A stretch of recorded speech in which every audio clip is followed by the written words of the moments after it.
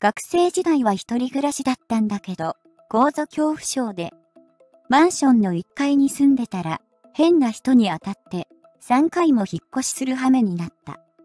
1回目は年配のおばさん。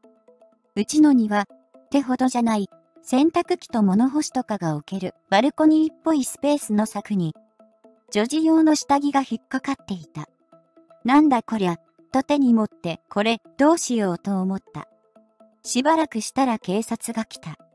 事情を聞いて、2階のおばさんが、2階なのに、窓の外に変な人影が見えたから、慌てて出て行ったら、1階の人が娘のパンツを握りしめてニヤニヤ笑ってた。下着泥棒だと通報したらしい。結局は、俺がベランダから侵入できる可能性はない、と分かってもらえたんだけれど、後で、おばさんの旦那が来て事情を聞かれたり、近所に俺の噂を吹聴しまくってくれたりと、おばさんの思い込みでロリコン扱いされまくった。結局面倒で、少し遠くに引っ越した。2回目は、大学にも駅にも近いところの1階。前と同じぐらいの庭があり、自炊にはまった俺はハーブや野菜を鉢に入れて育てていた。しばらくすると、それらがゲロまみれになっていた。夜の間干しっぱなしだった洗濯物もゲロまみれ。誰か上の階の人がやったんだろうなとは分かったけど、1回目は腹が立ったものの、誰にも言わずに我慢した。しかし、2回、3回と続き、不動産会社に連絡して、全戸に通知してもらった。しかしやまない。むしろ、小便とかの匂いまでして、明らかに悪化していた。ある日不動産会社を通じて犯人が分かったことを伝えられた。4階の OL だったらしい。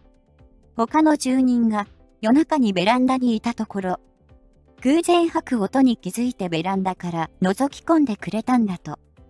堂々と小便していたらしい。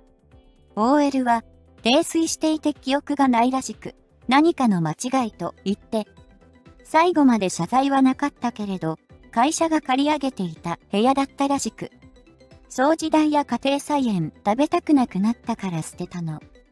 弁償、あと、俺の引っ越し代で結構なお金をもらった。3回目は2階のおばあさん。ペット不可のマンションだったのに、野良猫に餌をやってた。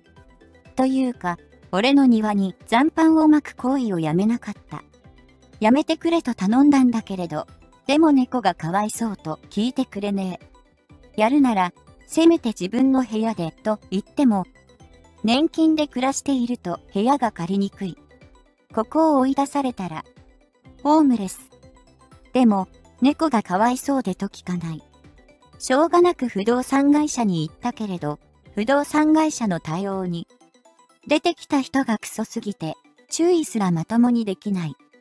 むしろ、認知症は言ってたのか、おばあさんの、あの子は親戚の子で、という、全く嘘800な嘘、妄想？を信じて、親戚なんですから、とか俺をなだめ出したり、意味がわからないことをされた。残飯は、魚の骨だったり、米粒だったりしたため、カラスや鳩に、家庭菜園は食い荒らされ、またもや終了。庭がクソだらけ。そこに猫がやってきて、またクソをしていく。耐えきれず、不動産会社に文句を言って引っ越した。4回目で、大学には近いけれど、駅からは遠い住宅街のアパートにして、ようやく落ち着いて、そういったトラブルはないけれど、あの半年マジ修羅場だったし、女怖いと思った。家族にも、半年で3回も住所変わったから、かなり心配させたし、まだ彼女ができないのは、この経験のせいだと思っている。